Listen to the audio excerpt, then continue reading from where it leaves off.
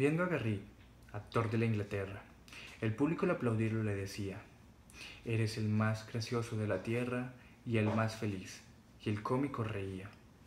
Víctima del spleen, sus altos lores, en sus noches negras y pesadas, fueron a ver al rey de los actores y cambiaban su spleen en carcajadas.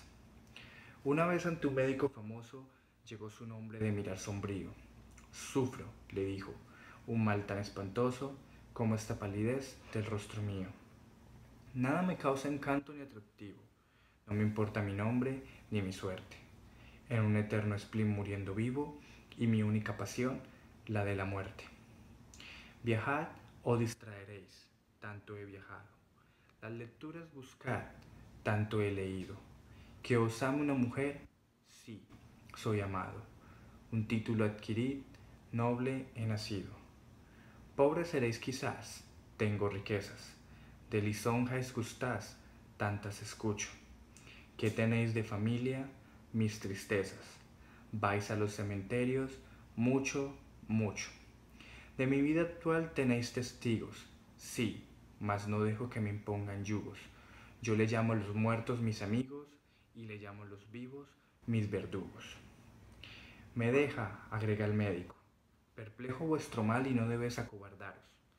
Tomad hoy por consejo esta receta, que solo viendo a Garrit podré curaros. A Garrit, sí, a Garrit. La más remisa y austera sociedad le busca ansiosa. Todo aquel que lo ve muere de risa. Tiene una gracia artística asombrosa. ¿Y a mí me da reír? Sí, os lo juro. Él, solo él. Mas, ¿qué os inquieta? Así, agrega el médico.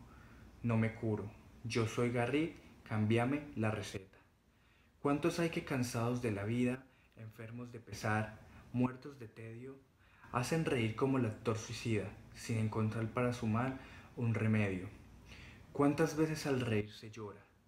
Nadie en lo alegre de la risa fíe, con, porque en los seres que el dolor devora, el, el alma llora cuando el rostro ríe. Si muere la fe, si huye la calma, si solo abrojos nuestra planta pisa, lanza la faz la tempestad del alma, un relámpago triste, la sonrisa.